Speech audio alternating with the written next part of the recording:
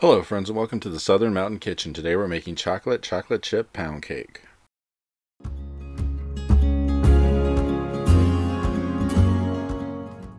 So everything you see on my counter is what we're going to use to make our pound cake. And this is such a great sweet chocolatey pound cake. You can serve this for a party during the holidays, Thanksgiving, Christmas, whatever you want to do. Um, it just has such a great taste and it is made from scratch so it actually is really wonderful to eat. So you're going to preheat your oven to 350 degrees because this is going to bake for about 45 minutes. So we're going to start off in our large bowl with one and a half cups of sugar then we're going to add a fourth of a cup of shortening. And then one and a half sticks of butter.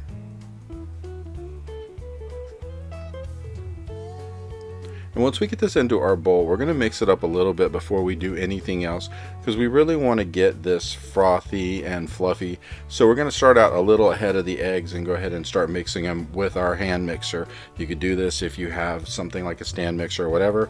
I find that using the hand mixer works a little bit better because I can control what I'm doing and use the camera at the same time.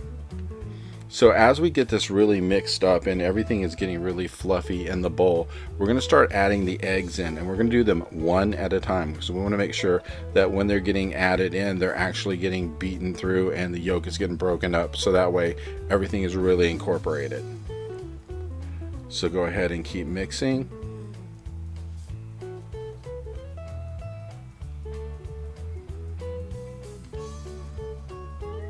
One good thing about starting the mixing before you put the eggs in, and you can start out kind of low and bring all the ingredients and the sugar and everything in that's already in the bowl. Because mixing that with the butter and the shortening, sometimes the shortening has to be broken up a bit. So here we go, we're going to add in our eggs one at a time until we get them completely mixed.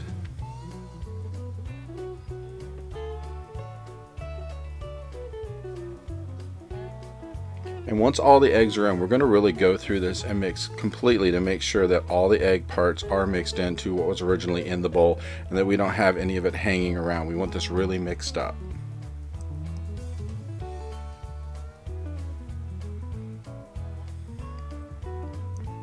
Now, once we get that completely done, we're going to add one fourth of a cup I'm using Hershey syrup. You can use the chocolate syrup of your choice. I choose Hershey's because it gives it a really good taste. Get all of that into our bowl. And then we're adding one teaspoon of vanilla. And then we're going to mix this again because we want to get this really mixed through. And you're going to notice as you're doing this, everything in your bowl is going to become a lot more brown. So just keep mixing it until you feel that everything is mixed through thoroughly.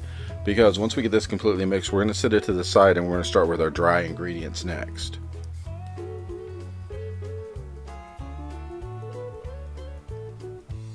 Make sure when you're mixing that you go around the sides and across the bottom to make sure anything that's down underneath gets pulled up and mixed through. We don't want to miss anything in this. We want it all completely mixed. So now we're going to go with our dry ingredients. So we're starting out with two and a half cups of all-purpose flour. To this we're adding a fourth of a teaspoon of salt, one and a half teaspoons of baking powder, and then a third of a cup of cocoa powder which again this is your choice whichever kind you use. If you have a favorite go for it. Just make sure you have a third of a cup. And we're going to mix this with a whisk because we want to kind of get all of these powders mixed together before anything else is added to it. So go ahead and mix it through. You're going to notice everything in your bowl is going to change color. Then when you get to a point where you feel everything is pretty much the same shade you know you've gotten it.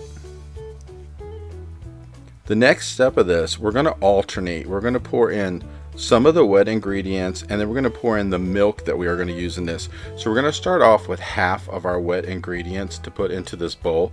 So that way it's easier to mix if you just put it in a bit at a time. So go ahead and pour in at least half of your bowl.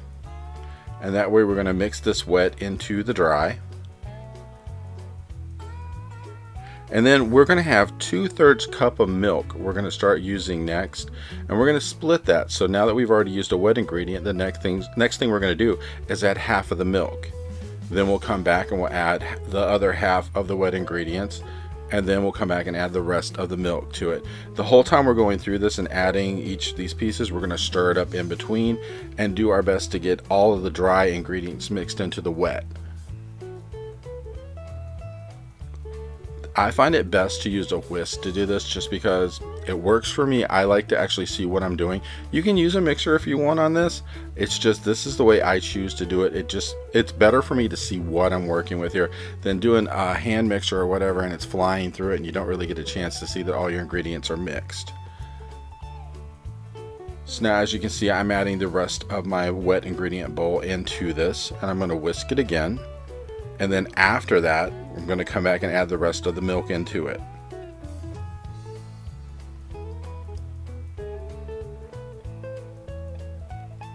So as you get going here and get toward the end, you're going to notice this is going to look really chocolatey. It's going to look really like you have something here mixed together that isn't just all these different pieces we've been putting in. Because by the time you get to the point right about now, it's really looking like the batter is coming together. And then, like I said, you know, once all your milk is in and all your wet ingredients are in, you just have to make sure this is all mixed together. And that's it. And you're going to be ready to bake this pretty soon.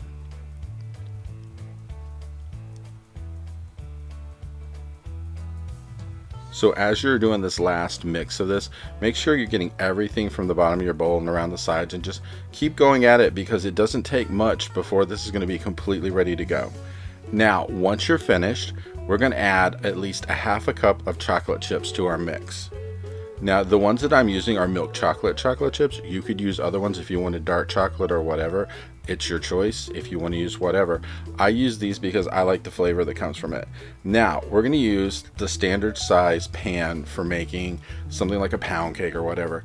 Um, it's spray it with some nonstick cooking spray and then coat the bottom with some cocoa powder because this is going to make sure it doesn't stick. So just put a little in there, knock it around, see where you need to add some more until you get the whole bottom completely covered.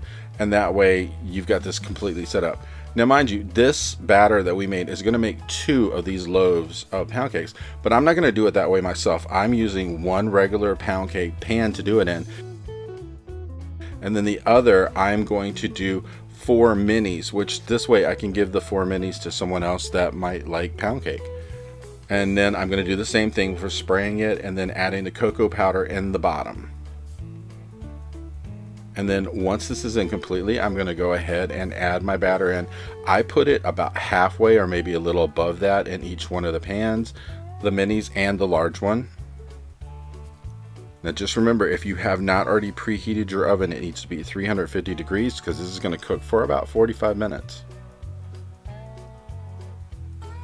Now once you have your batter in your pan, you want to go ahead and add your chocolate chips on top that are left over.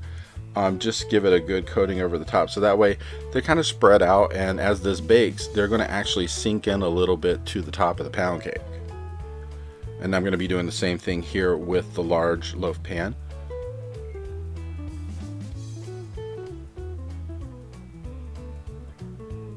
And again, once it's in there, I'm just going to smooth it out a little bit, and then I'm going to add my chocolate chips on top.